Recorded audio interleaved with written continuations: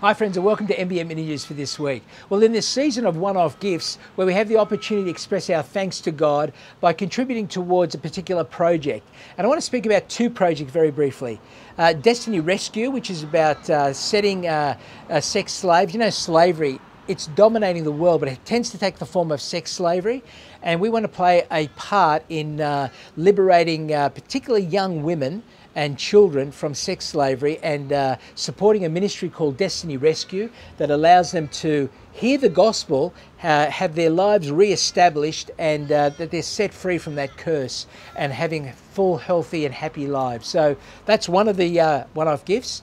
And the other one is, I've just got a blank. Andy, what is it? Film, studio. Film studio. What? It's right under. It's right under my nose. The film and recording studio.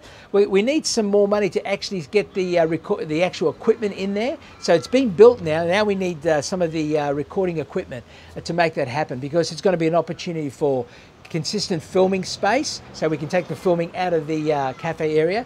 But more than that, recording songs and albums, not only for our church, but we actually want to bless other churches as well so they can do recording and have their albums from their, their churches. And so we're just really creating a space and place for more of that to happen. Well, I'm looking forward to it. I hope you prayerfully consider which one off gift or gifts you want to contribute this season.